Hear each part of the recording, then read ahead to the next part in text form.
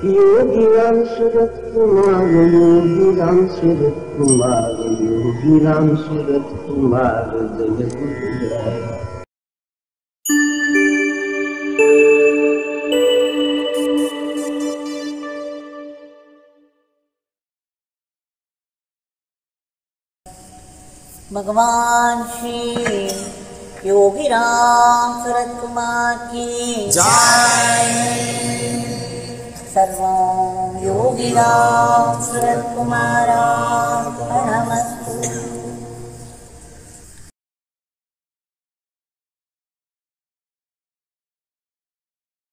योगिराम सुरत कुमार योगिराम सुरत कुमार योगिराम सुरत कुमार जय गुरु राय भगवान श्री योगी राम सूरत कुमार की जय सर्वं योगी राम सूरत குமாரார்ப்பணமஸ்து பாடிய நாம சங்கீர்த்தனத்தை பகவானின் தாமரை திருவடிகளில் சமர்ப்பித்து நம் மாலை நேர பிரார்த்தனையை அவர் திருநாமம் செய்த ஒரு அற்புத நிகழ்ச்சியுடன் ஆரம்பிப்போம். பல வருஷங்களுக்கு முன்பு ஒரு முப்பத்தாறு முப்பத்தேழு வயதுள்ள ஒரு பெண்மணி இரவு எட்டரை மணிக்கு திருவண்ணாமலை பஸ் ஸ்டாண்ட் வந்து இறங்கினார். அந்த நாட்களில் திருவண்ணாமலை முற்றிலும் வேறுபட்டிருந்தது. எங்கு பார்த்தாலும் மரங்களும் செடிகளும் தான் காடு போல் இருந்தது. மிகச்சில கட்டிடங்களே இருக்கும். வாகனங்களோ சைக்கிள் ரிக்ஷாக்களும் மாட்டு வண்டிகளும் தான். இருட்டினால் சில மின்விளக்குகளை பார்க்கலாம். அவையும் மங்களாகத்தான் எரியும் அல்லது எரியவே எரியாது. இந்த நிலையில் அந்த பெண்மணியை நோக்கி ஒரு ஆட்டோ எங்கிருந்தோ பறந்து வந்தது. ரமணாசிரமத்தில் சேவை செய்து சேவை செய்து வந்த அந்த பெண்மணியும் ஆட்டோவில் சீக்கிரம் ஆசிரம் சென்று விடலாமே என்ற மகிழ்ச்சியில் ஏறிக்கொண்டார். சில நிமிடங்களிலேயே அந்த ஆட்டோ டிரைவர் தன்னை வேறு எங்கோ எடுத்துச் செல்கிறான் என்று தெரிந்து கொண்டார். பயம் மிகுந்து நடு நடுங்கி செய்வதறியாது திகைத்த அவர் ஸ்ரீ யோகிஜியின் நாமம் நினைவுக்கு வர மனதிற்குள்ளேயே யோகிராம் சரத்குமார் யோகிராம் சரத்குமார் என்று சொல்ல ஆரம்பித்தார். சில நிமிஷங்களில் அந்த ஆட்டோ டிரைவர் வீல் என்று கத்தி அலறியவாறு ஆட்டோவை திருப்பி ரமணாசிரமம் ரோடுக்கு கொண்டு வந்தான். அவன் உடலோ நடுங்கிக் கொண்டிருந்தது நேராக சென்று ரமணாசிரமத்தில் இறக்கிவிட்டு விட்டான். அவன் நடுக்கத்தை பார்த்த அந்த பெண்மணி வேர்வை வேறு கொட்டியது என்ன ஆயிற்றோ என்று கேட்டு நினைத்தவள். அவனிடம் மெதுவாக. அப்பா ஏன் இப்படி நடுங்குகிறார்? என்று கேட்டார் அம்மா நான் ஒரு கெட்ட எண்ணத்துடன் உங்களை அழைத்துச் சென்று கொண்டிருந்தேன். ஆனால் அந்த சந்தின் நடுவில் ஒரு பெரியவர் தாடி வைத்திருந்தனர். கையில் ஒரு இரும்பு கம்பியுடன் என்னை நோக்கி ஆட்டி ஆட்டி மிரட்டினார்.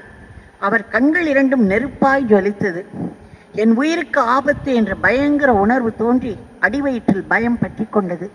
உடன் இங்கே அழைத்து கொண்டு வந்து விட்டேன் அம்மா அந்த கிழவர் யார் உங்களுக்கும் அவருக்கு என்ன சம்பந்தம்? அவர் சாதாரண மனிதர் போல் தோன்றவில்லையே என்று கேட்டான். என்ன நடந்தது என்று அந்த பெண்மணிக்கு புரிந்துவிட்டது. கண்களில் நீர்மல்க கைகூப்பியபடி அவர் ஆசிரமத்திற்குள் விரைந்து ஓடினார். கடைசி வரை ரமணாசிரமத்தில் சேவை செய்த அவர் முடிந்த போதெல்லாம் ஸ்ரீ யோகிஜியையும் வந்து தரிசித்துச் செல்வார். அவர் நாமத்தையும் சொல்லிக் கொண்டிருப்பார். இப்பேற்பட்ட மகிமை வாய்ந்த நாமத்தை நாம் அனைவரும் சேர்ந்து மீண்டும் மீண்டும் நிறைய நிறைய சொல்லி அவர் பாதங்களில் சமர்ப்பித்து வேண்டிக் கொள்வோம். பகவான். இன்னொரு லீலை பகவானுடைய இன்னொரு லீலையின் மூலம் அவருடைய நாமத்தின் பெருமையை மகிமையை நாம் தெரிந்து கொள்ளலாம். நம்ம ஆசிரமத்திற்கு கிட்டத்தட்ட எட்டு மாதங்களுக்கு முன்பு அமெரிக்கன்ஸ் ஒரு இருபத்தி மூணு பேர் ஒரு பெரிய குழு வந்தனர் பகவானை பற்றிய சத்சங்கத்திற்காக. அந்த சத்சங்கத்தின் நடுநடுவே பகவானுடைய நாமத்தையும் அவருடைய பெருமையும் சொல்லுவேன். முக்கியமாக பகவானுடைய வரலாறு அவருடைய உபதேசங்கள் எல்லாம் சொல்லிய பிறகு அவருடைய நாமத்தை பற்றி சொன்னேன். அப்பொழுது சொன்னேன் நீங்கள் எல்லாம் பகவானுக்கு புதிதாக இருக்கலாம். அதனால் உங்களுக்கு போதிய அளவுக்கு நம்பிக்கை இல்லாமல் இருக்கலாம். மனம் ஒருமுகப்படாமல் இருக்கலாம். அது தவிர பக்தி இல்லாமல் இருக்கலாம். அதனால் பரவாயில்லை. உங்கள் வாழ்க்கையில் அவரவர் வாழ்வில் ஏதேனும் ஒரு கஷ்டம் வரும் பொழுது பகவானுடைய நாமத்தை யோகிராம் சுரத்குமார் என்று கூவி கூவி அவரை அழையுங்கள்.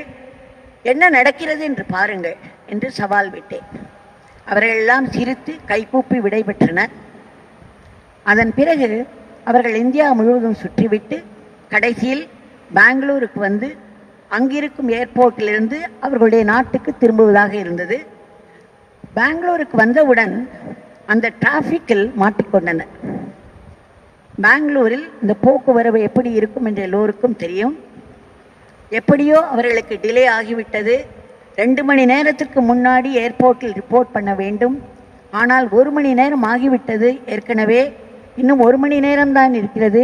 அவர்கள் இன்னும் பாதி வழியிலேயே நிற்கின்றார்கள். டிராஃபிக்கானால் நகர்வதாக இல்லை. என்ன செய்வதென்று தெரியாமல் திகைத்த அவர்களுக்கு திடுமென்று அவர்களுடைய தலைவர் சொன்னார்.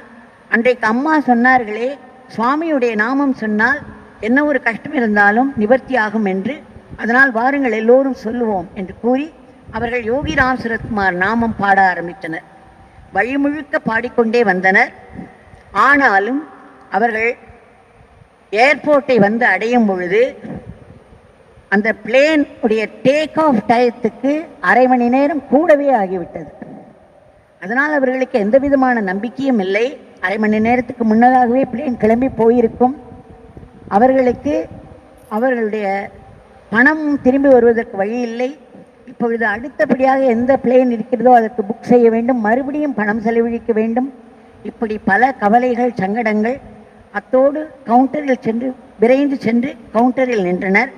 இவர்களை பார்த்த உடனேயே அந்த கவுண்டரில் இருக்கும் ஆள் நீங்கள் இந்த ஃப்ளைட்டை சேர்ந்தவர்களா? என்று கேட்டார். ஆமாம். நாங்கள் வழியை தெரியாமல் டிராஃபிக்கில் மாட்டிக்கொண்டு விட்டோம். நாங்கள் தவற விட்டு விட்டோம் என்று வருத்தத்துடன் இவர்கள் சொன்னார்கள். உடனே அவர் முகமலர்ந்து நீங்கள் தவற விடவில்லை. உங்களுடைய பிளேன் உங்களுக்காக காத்து கொண்டிருக்கிறது. ஓடி சென்று ஏறுங்கள். இப்பொழுதுதான் மற்ற பயணிகளும் ஏறிக்கொண்டிருக்கிறார்கள் என்ற தகவலை தெரிவித்தார். உடனே இவர்களுக்கு நம்ப முடியாது. அவரை பார்த்தனர் சந்தோஷத்தில் துள்ளி குதித்தனர் ஓடி சென்று ஏறிக்கொண்டனர்.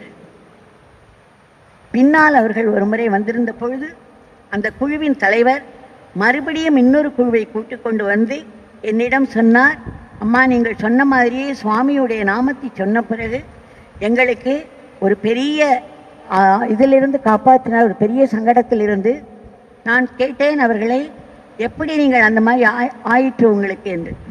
அப்பொழுது அந்த கவுண்டரில் இருக்கிறவர் சொன்னாராம் அந்த பிளேன் அது குறித்த டயத்துக்கு கிளம்புவதாகத்தான் இருந்தது. பயணிகளும் ஏறிவிட்டனர்.